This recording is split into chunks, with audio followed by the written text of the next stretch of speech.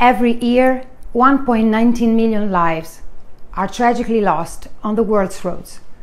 Road injuries are the first killer of young people aged 5 to 29. However, simple actions can make a huge difference and keep us and our loved ones safe. Never text while driving. Join me in supporting the new United Nations global campaign for road safety. Hashtag make a safety statement. Together, we can save many lives. I'm Laura Pausini. I made my safety statement. What is yours?